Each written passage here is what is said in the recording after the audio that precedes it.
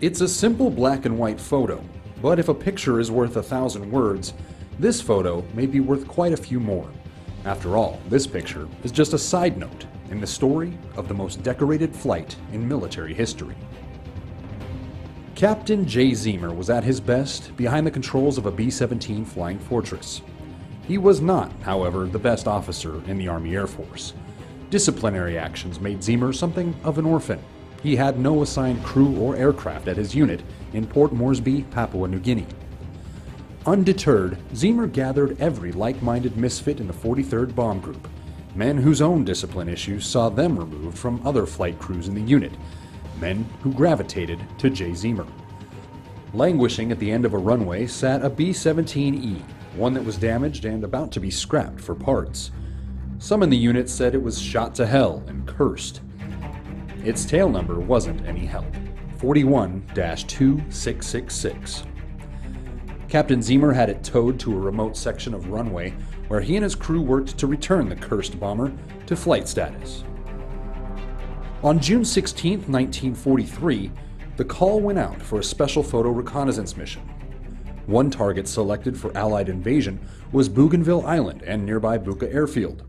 Zeamer knew that they would have to fly straight and level over enemy airspace during daylight hours to get quality, usable imagery if a successful invasion were to take place.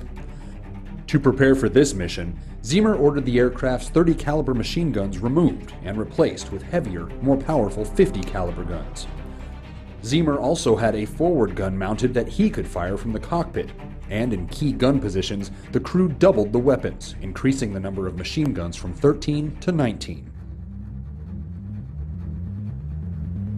Zeamer kept his aircraft straight and level over Bougainville as the crew watched anxiously as 17 Japanese Zero fighters took off in an intercept course.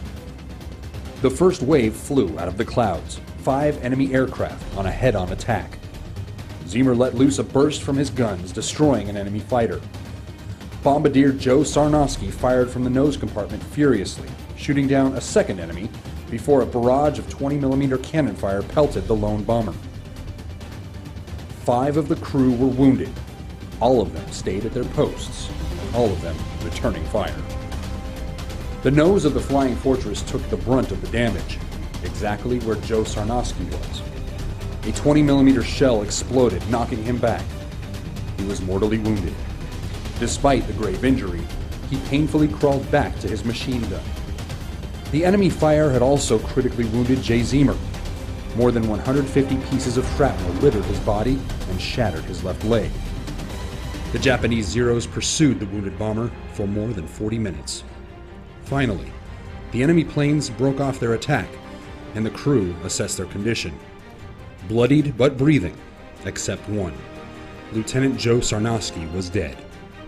As a bombardier, and being only three days from returning to the United States, he wasn't needed on a photo reconnaissance mission. He volunteered to join his crewmates anyway. Captain Jay Zeamer was in and out of consciousness, having lost a substantial amount of blood. When Zeamer returned to Port Moresby, many of the soldiers there had to donate blood to keep him alive. His condition was so grave, he had actually been recorded as killed in action.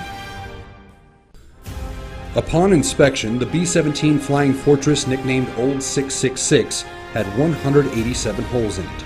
Miraculously, the photos were undamaged and later used to help plan the amphibious assault on Bougainville in subsequent months. Both Jay Zeamer and Joe Sarnoski each received the Medal of Honor. Each member of the remaining seven crew members was awarded the Distinguished Service Cross. Old 666, the most decorated flight in military history.